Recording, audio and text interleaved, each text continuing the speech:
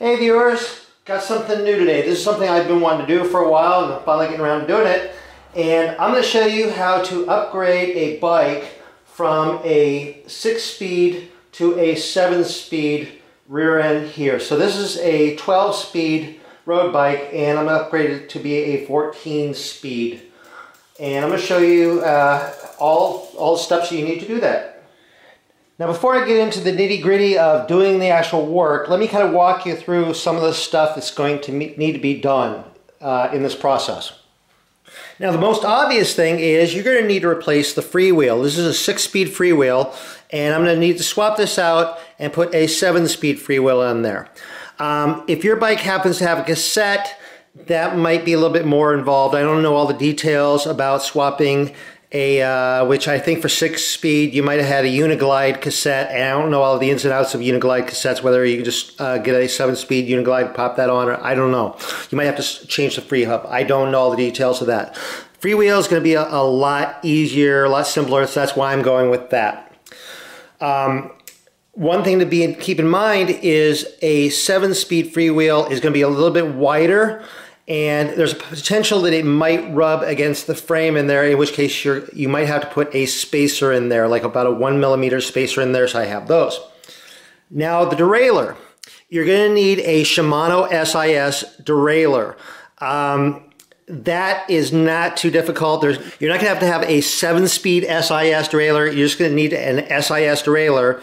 The main thing about the derailleur is it needs to be able to um, go the full distance and I think most modern uh, derailleurs will, will be able to go the full width of that. So that's not that big of a deal. Now you may need to replace the chain. Um, if you have a chain that is specific to be a, for a six speed, it can be a little bit wider and will not be compatible with the seven speed freewheel. Um, so you, will have to swap out the chain. Um, this chain here, I recently, the, the chain that was on this bike was all just uh, worn out, so I replaced the chain, and fortunately this chain is already compatible for the 7 speed, so I don't need to swap the chain on this. Now the next thing is the shifters. Um, the uh, left shifter, that goes for the uh, chain rings, and that is not too critical. Uh, this has got uh, two chain rings, and so um, this is already gonna, that's not really gonna change, even though I'm gonna change the whole set. The critical one is the right one. This is a six speed indexed uh, shifter, and I'm gonna have to replace it with a seven speed index shifter. Um, basically, I just need to swap those out. Plus then all the, the shift cables, and then you get everything tuned up. So let's go ahead and get started on this. Now I know people are going to ask about other conversions. Going from 6 to 7 is pretty easy because the axle width is the same.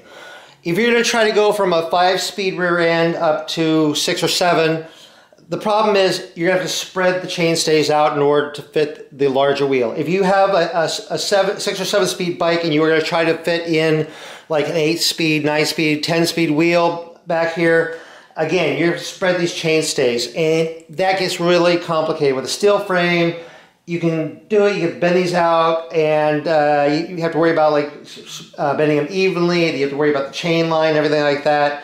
Um, if you have an aluminum frame, that gets even more complicated because you do not want to bend the aluminum frame while it's cold. You want to heat up the metal, in which case you're also going to probably have to repaint the frame. And all that gets just way more complicated, way beyond the scope of this video. And I think there is probably more complicated than most people are, are even going to want to attempt. So just go ahead and stick from, go from six to seven. It's pretty simple. Okay, I'm to go ahead and remove the rear wheel. There, like that. Okay, I need to take the free wheel off, so I'm going to remove the skewer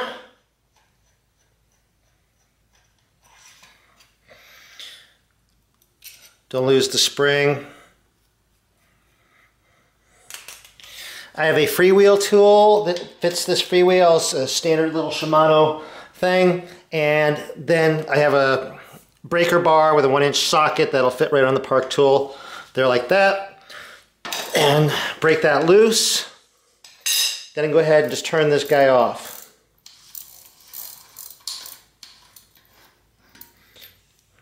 Just like that. And there's the, the six speed freewheel. Then I have the seven speed freewheel here. And I can go ahead and just turn this on.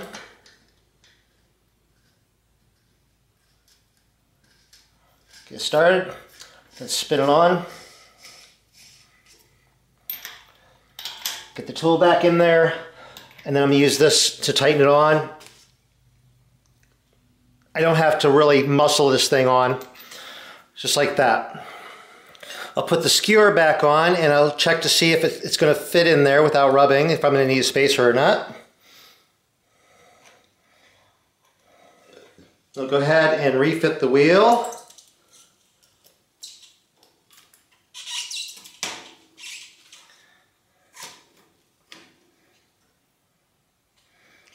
Now what I want to check is to see if the chain, when it's on the very smallest cog here, is going to rub on the frame.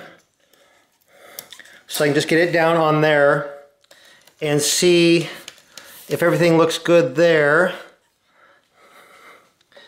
And it looks good. It's not rubbing there. If it was rubbing there, it's very close, and I could still put a spacer in there, is that I would put a spacer uh, on the end of the axle that would go between the uh, lock nut and the uh, dropout. Or I could even take the lock nut off, put out, the spacer on there, put the lock nut back on. But this looks okay. It's tight, but it look, looks like it's going to work as is. Now, fortunately, I don't need to replace the derailleur. The rear derailleur is a Shimano light action uh, derailleur, and doing some research on uh, the internet, I found that this actually is an SIS derailleur already. So this should work as is. I'll I just have to make some adjustments on it uh, for the shifting, but this should work as is. I don't need to replace that. And as I said, the chain is already a seven speed compatible chain, so I don't need to replace that either. Okay, I need to remove the old uh, shifters. So I'm just gonna go ahead and cut these cables since I'm going to be replacing them anyway. Then just use a screwdriver to remove them.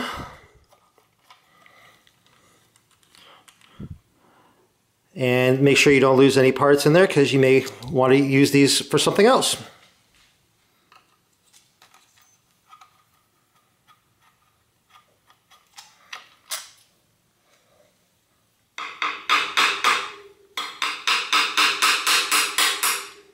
Get those parts off. Just get them tap on there to kind of get them loosened off. I can remove those. Now, I don't know if this is the rule or what, but on these six-speed shifters, um, where it says you can switch these between uh, friction and SIS, and where it says SIS, it just says SIS set, and that's all it says.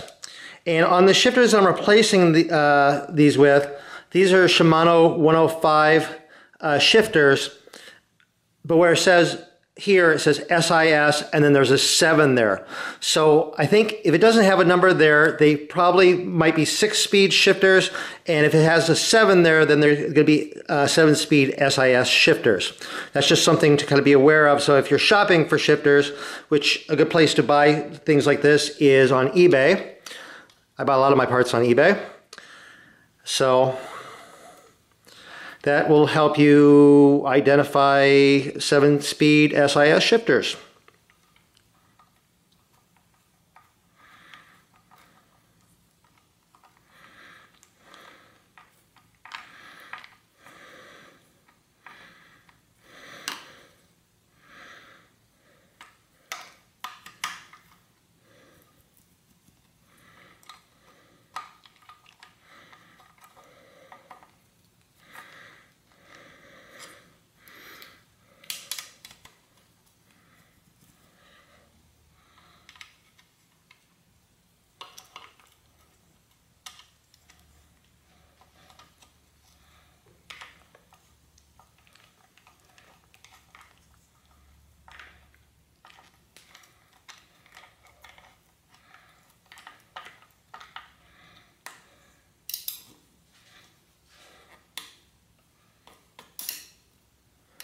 Okay, before installing the uh, new shifter cable, I need to remove the old shifter cable. So let's go ahead and loo loosen this little lock nut there.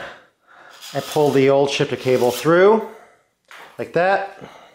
Okay, before I hook up the cables, I want to go ahead and adjust the limiting screws on this rear derailleur here. Since the small cog is now farther out than the uh, small cog on the six-speed uh, freewheel, right now as a pedal, it's trying to go up. So I need to adjust the limiting screw, just find the, the H screw, the high screw, and loosen it up a little bit until it's not trying to go up onto that uh, next cog. There, that looks pretty good like that. I can always adjust it some more later. Okay, now I need to run the cable, the shift cable here. This is for the rear derailleur.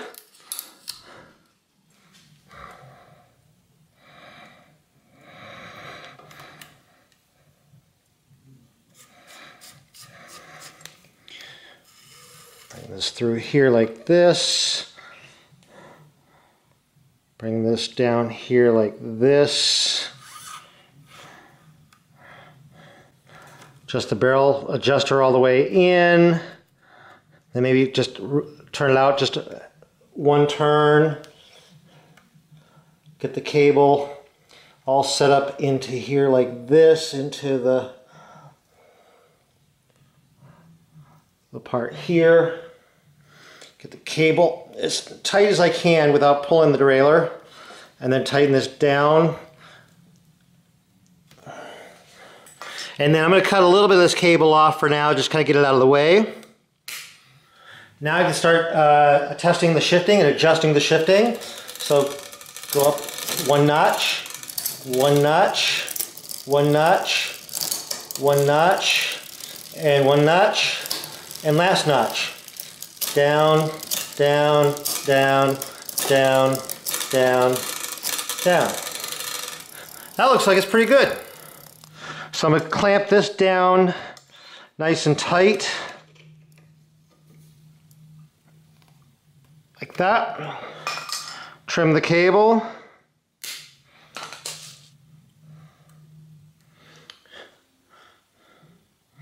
Put a crimp end on. Boom. Okay, the hard part's done. Now I just need to uh, do the front uh, shifter and derailleur. So run the cable through the shifter. Like that. Okay, I'm going to go ahead and remove the cable from the old cable from the uh, front derailleur. So loosen this little clamp bolt here. Then pull out the old cable.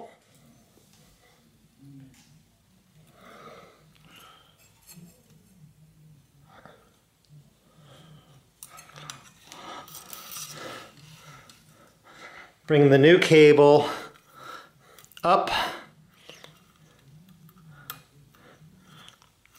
and get it seated in there. Pull it tight.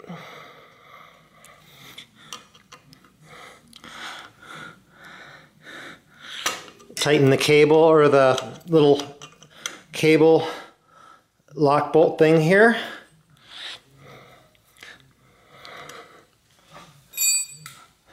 I'm going to shorten the cable just so it doesn't get in the way as I'm testing it. Then I can pedal and then try shifting. Make sure it goes up onto there and then shift down.